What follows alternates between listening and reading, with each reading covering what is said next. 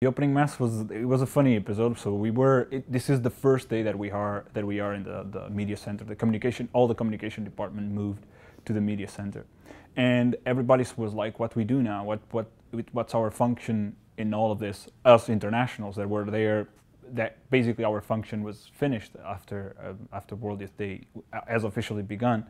But we had decided, anyways, we're going to cover it on our languages and and and try to do our best. So I got to go to the opening mass, and here I am in the bus with uh, with other journalists from all over the world, and a group of us um, of of volunteers from from communication. And I, I'm sitting next to this priest that was one of the Spanish uh, journalists. He was a young priest from the, the Diocese of Cadiz. And me and him kind of teamed up, teamed up and we went through the opening mass.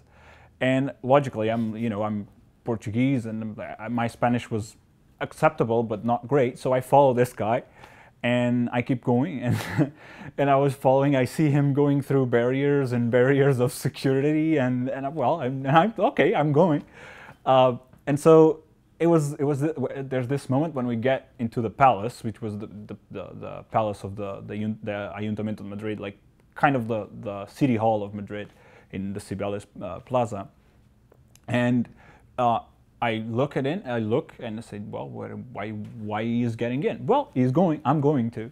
So the next thing I notice I have, I, I see the priests, all the priests experimented, and, and well, what, this is the priest, the priests area. And I thought, well, if I get to sit, to sit close to them, it's fine. You know, it's a, it's a different way of seeing the mass. But the next thing, it keeps going and going, and it goes to this area where I see all the the people permitting to actually go to the mass, to, to be part of concelebrating to the mass. And I look one side and I see Cardinal Rouco Varela of Madrid at the time, and on the other side I see Cardinal Rylko from the, from the, the, the Pontifical Council of Laity. And I was like, oh, I'm in the middle of the, car- the cardinals and bishops right now. What I'm, what I'm, what I'm doing here.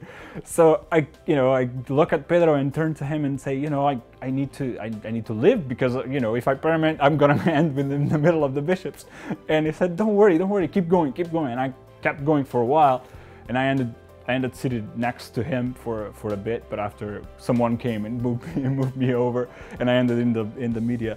But it was funny because I was like, if, imagine if it was during the Pope, I would end right next to the Pope without noticing. So it was it was a great experience because it was the first contact with the event, and we were all, you know, overjoyed for it, and it, we've been working so hard for it. But it was like this snatch on security that I kind of like, well it's I hope it only happens in with with uh, with uh, the opening mass, but it was it was an amazing experience.